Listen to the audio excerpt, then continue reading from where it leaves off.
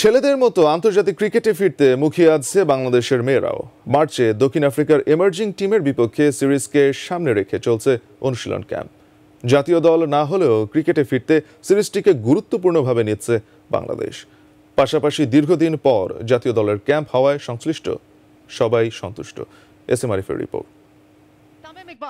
Captain of the Bangladesh team. করোনাকালীন দীর্ঘ দশ মাস দশ দিন বিরতির পর ওয়েস্ট ইন্ডিজের বিপক্ষে হোম সিরিজ দিয়ে আন্তর্জাতিক ক্রিকেটে ফেরে বাংলাদেশ জাতীয় দল Bangladesh winning by seven wickets and going.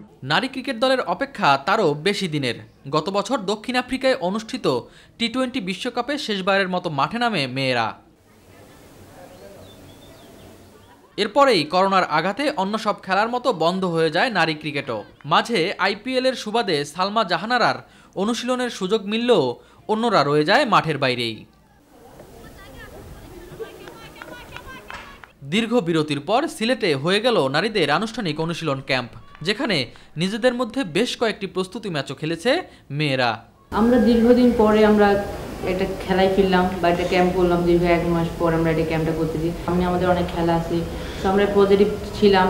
Target হিসেবে না নিয়ে আমরা চ্যালেঞ্জ হিসেবে নিয়েছি যাতে আমাদের লক্ষ্যগুলো আমরা পূরণ করতে পারি। আমরা এখানে অনেকগুলো ম্যাচ খেলেছি অনেক কিছু শিখেছি যেগুলো আমাদের ভবিষ্যতে অনেক কাজে দেবে। মার্চের শেষ সপ্তাহে দক্ষিণ আফ্রিকার ইমার্জিং দলের বিপক্ষে মিলবে ক্রিকেটে ফেরার সুযোগ।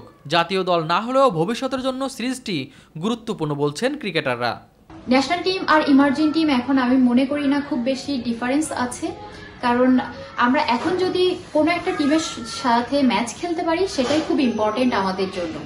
তবে এরপরেই যে আমরা ট্রাইনেশন খেলব শ্রীলঙ্কাতে এবং তারপরে কোয়ালিফায়ার রাউন্ড আছে আমাদের সো অনেক ব্যস্ত শিডিউল থাকবে তবে তার আগে যে কোনো টুর্নামেন্টই আমাদের কাছে খুব বেশি ইম্পর্টেন্ট দীর্ঘদিন বাদে শুরু হওয়া নারী দলের অনুশীলন ক্যাম্পের সার্বিক পরিস্থিতি নিয়ে সন্তুষ্ট বিসিবি। সে ক্যাম্পটা শুধুমাত্র শেষ হয়নি এবং খুব ভালোভাবেই শেষ হয়েছে। আপনি যদি টেকনিক্যাল টেকটিক্যাল ফিজিক্যাল মেন্টাল হিসেবে যদি দেখি আমাদের প্রত্যেকটা মেয়ে দেয়ার ওয়েল ফিট এবং কোনো ইঞ্জুরিতে তারা পড়েনি এবং ঘরের মাঠে দক্ষিণ আফ্রিকার ইমার্জিং দলের সাথে সিরিজের পর শ্রীলঙ্কায় ত্রিদেশীয় সিরিজ খেলার কথা জাতীয় নারী ক্রিকেট দলের। S M Arif my TV Dhaka.